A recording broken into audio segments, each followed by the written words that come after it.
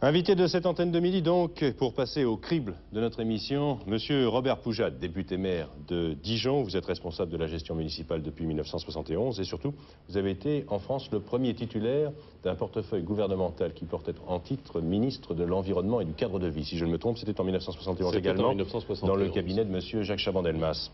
Alors, nous venons de voir l'exemple de votre ville, Dijon, leader de l'écologie en France, pour les villes de plus de 100 000 habitants. Mais euh, une autre statistique publiée par le même journal, d'ailleurs, Le Point, disait aussi que Dijon était pas mal placé sur le plan des impôts. Pour la France, vous étiez en cinquième position avec un, impôt de 656 francs 24 par habitant en 1977. Pas pour sur l'ensemble des habitants de l'agglomération. Pour la ville elle-même, enfin pour la ville elle seule, nous sommes beaucoup plus loin. Je crois que c'est au 17e rang. Bon, mais vous Il faut ajouter les impôts du département et de la région. Non, on ne va pas se lancer dans une carrière sur les impôts. Non, non, Ce que je voulais savoir, c'est si euh, l'écologie coûtait cher finalement et si on pouvait faire de l'écologie à bon marché. Écoutez, honnêtement, je ne crois pas que ça coûte cher, car nous avons réussi à faire ce que nous avons fait. Je ne prétends ni être un leader dans ce domaine, ni euh, avoir fait de Dijon une ville pilote. Il faut savoir rester modeste.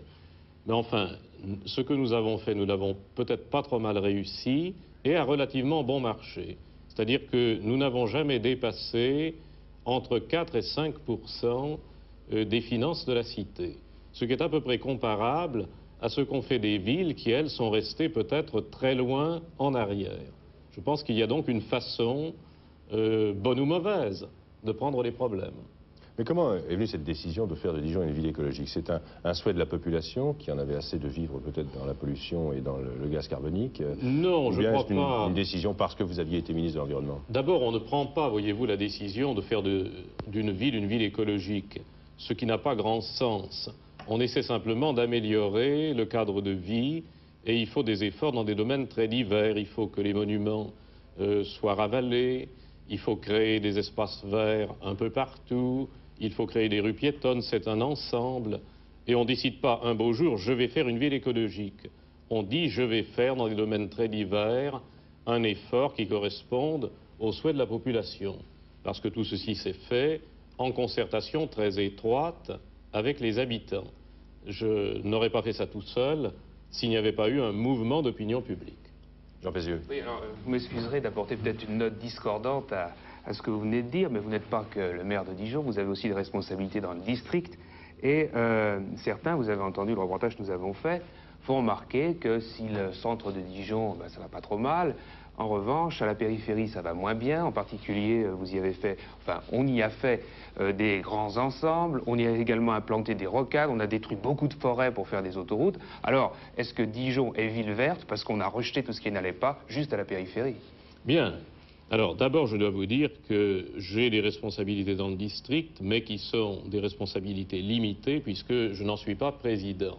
Et par ailleurs, je n'ai construit, en ce qui me concerne, aucun grand ensemble. C'est-à-dire que depuis le début de mon mandat, je n'ai construit aucun grand ensemble. J'ai hérité de grands ensembles.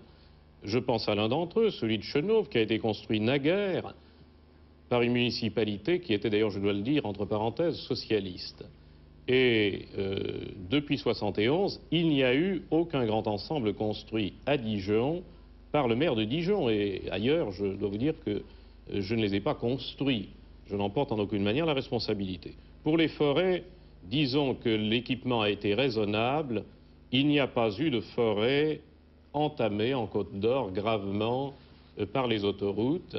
Et quant à notre voirie urbaine, vous vous doutez qu'elle ne s'inscrit pas dans les forêts.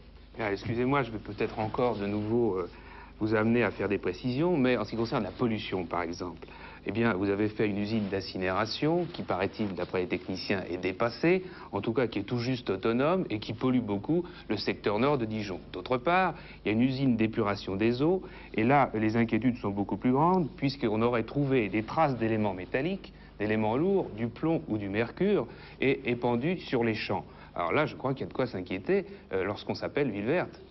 Alors là, je peux vous répondre très simplement.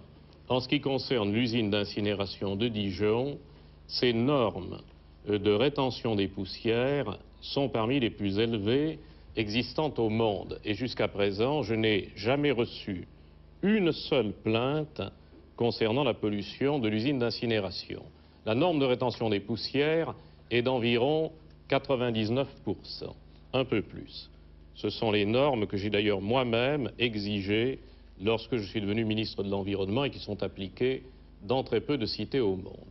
Pour ce qui est de l'usine d'épuration, son rendement est un des meilleurs de France, mais je vous signale que dans toutes les usines d'épuration, sans exception, il y a des traces de métaux lourds.